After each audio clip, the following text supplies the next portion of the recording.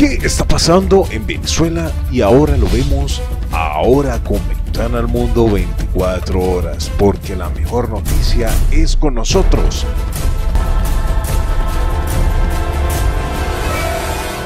Ahora damos inicio. Familia de Ventana al Mundo 24 horas. Qué buenos que estén compartiendo en estas horas de la tarde y la verdad la información y las noticias no paran en ningún, ningún momento. La decisión debe ser tomada por el presidente interino de Venezuela. Las cosas se salieron de las manos. El usurpador de Miraflores no sabe qué hacer. Está enconchado, encuartelado, aislado.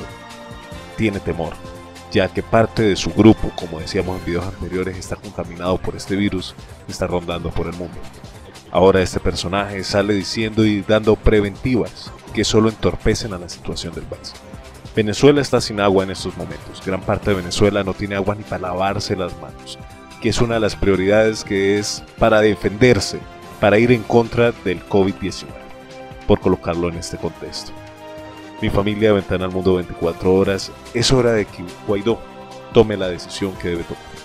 Debe tomar una decisión definitiva, porque ahora depende de él. Hay insumos que están en las fronteras esperando para entrar a Venezuela. Como decía en mi video anterior, que los voy a dejar publicados en la descripción para que multipliquen la información, la extiendas, te suscribes y activas la campanita, debes mantenerte totalmente informado en todo, todo momento. Hay insumos en la frontera hay insumos en Brasil y hay insumos en Colombia. Solo esperando la afirmación, la aprobación por parte del presidente interino de Venezuela y sacar al usurpador de Miraflores. La milicia y los militares deben activarse a favor de una ayuda humanitaria, a favor de que Venezuela sea libre. ¿Por qué a favor de esto? Porque Venezuela está sufriendo. Hay más de 200, así como decíamos en el video anterior, hay más de 200 las preventivas que ha dictado el dictador son solo para oprimir al pueblo en este momento, para tenerlo tranquilo. Esto es solamente un modo de politizar la situación que está causando el virus este por todo el mundo y se está aprovechando el imbécil, y perdónenme la palabra, pero es más que una realidad, el imbécil de Maduro, que no tiene ni tres dedos de frente. Mi familia de Ventana al Mundo 24 horas, para mí y para mi grupo de trabajo es importante decirles una sola cosa y hacerle un solo llamado al presidente interino de Venezuela, Juan Guaidó, y es que ya es hora, no pierda más tiempo, no podemos dejar que esto transcurra más y más. Estamos esperando que en las próximas horas, señor Guaidó, usted tome la acción que debe tomar.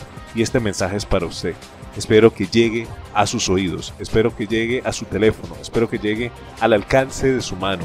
Y por favor les pido a todos que me ayuden a compartirlo. Señor Guaidó, es hora. Se acabó el tiempo.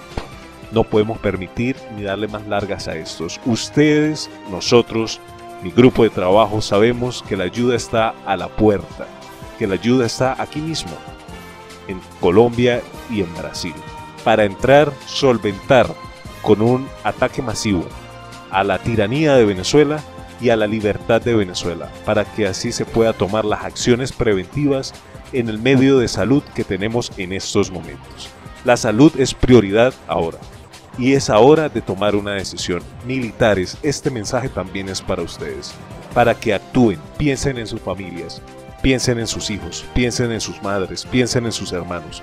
No podemos permitir más esta situación, ni esta agonía que está viviendo el pueblo venezolano por culpa de tres pelagatos que están en el poder montados y aparte escondidos, resguardados por un grupo de cubanos porque no confían ni en la fama, no confían en nada.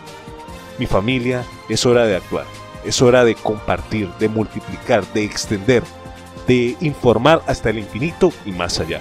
Si te gustó el video, dale like, comparte, multiplica y extiende. Un abrazo Suscríbete y hasta una próxima. Oye, activa la campanita.